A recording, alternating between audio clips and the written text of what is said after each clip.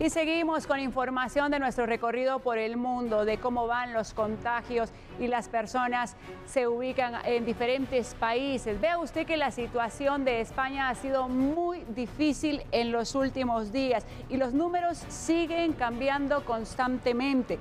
Vea usted que 64.059 infectados por coronavirus ya hay en el país 6.273 más que anoche de momento, 4.165 de ellos en cuidados intensivos, que esto nos da un número de 486 más que ayer.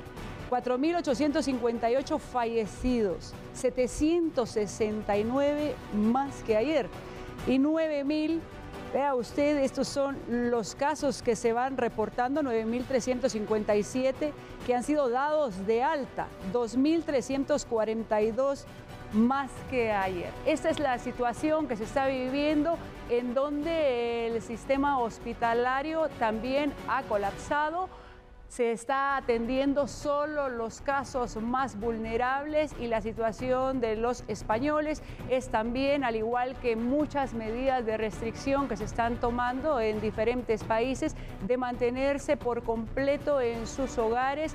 Los hospitales siguen trabajando día y noche para verificar cómo se logran disminuir los casos de COVID-19. Esa es la situación que se está viviendo en España.